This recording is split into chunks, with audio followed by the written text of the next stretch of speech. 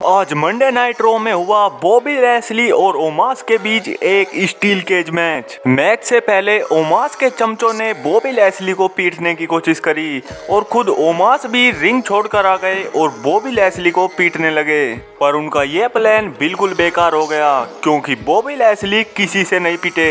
और रेफरी ने मैच को स्टार्ट करा दिया। मैच के दौरान ओमास बॉबी लेस्ली पर हावी पड़ते हुए नज़र आए। बॉबी लेस्ली बार बार ओमास को पीटने की कोशिश कर रहे थे, पर ऐसा वो नहीं कर पाए, क्योंकि ओमास की ताकत बॉबी लेस्ली से कुछ ज़्यादा ही है। पर मैच उस वक्त पलट गया जब ओमास ने बॉबी लेस्ली को अपने कंधे पर उठा लिया और स्टील केज के ऊपर फेंक दिया।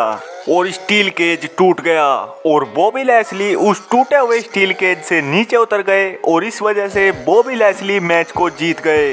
जी हाँ बॉबी लेस्ली जीत गए हैं क्योंकि बॉबी लैसली का पैर स्टील केज से बाहर सबसे पहले आया था।